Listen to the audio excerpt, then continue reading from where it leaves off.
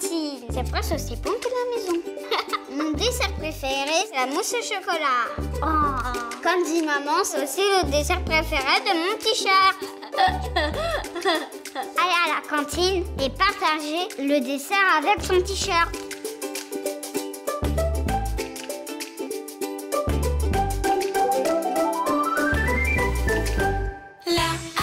C'est vraiment vous.